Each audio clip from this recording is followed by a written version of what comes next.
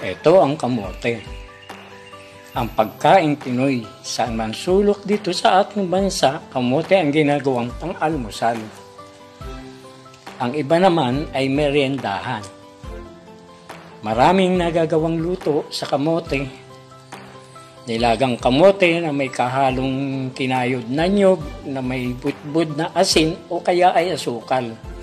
Pritong kamote or kamote cube. Masarap ding ihawin, gawing halaya o kaya ay gataan. Masarap din gawing puding o kaya ay suman.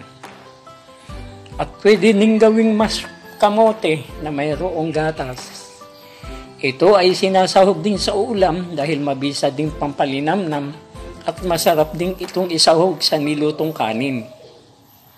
At malinamnam din sa sahog sa nilugaw. Iyan po ang kamote dahil sa kanyang sustansya mabigat sa tiyan at matagal ang kabusugan. Kaya naman ang madalas na kumakain ng kamote ay malusog at madalang magkasakit dahil ang kamote ay mayaman sa vitamina at maraming benepisyo ang naibibigay ng kamote para sa ating kalusugan.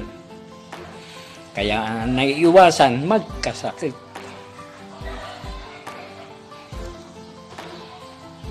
Narito ang mga benepisyo ng kamote para sa ating kalusugan.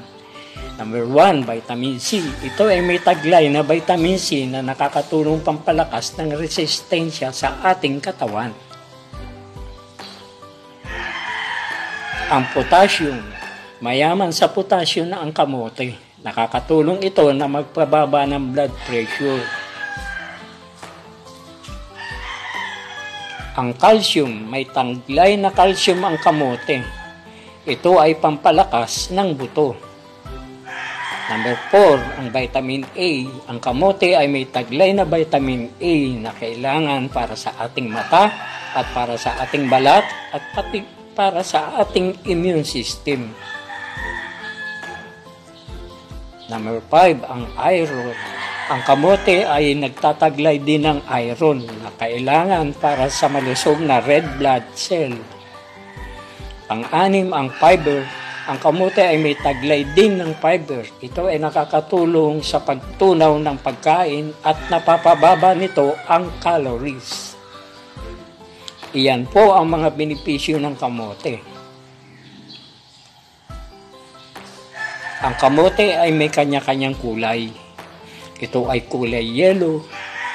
May kamuting kulay pula ang balat pero ang laman ay kulay orange. May kamuti ding kulay ubi ang balat, pero kulay ubi naman ang laman.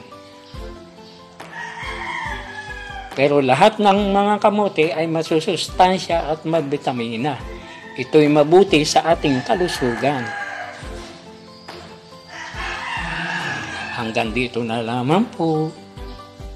Ito po ay ibinagi ko sa inyo para sa dagdag kaalaman Huwag niyo pong kalimutang mag-likes at mag-subscribe sa aking channel para mapanood niyo po ang iba po pang video. Maraming salamat po.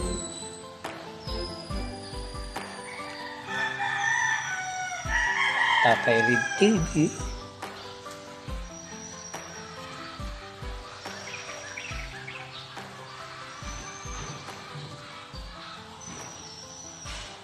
God bless.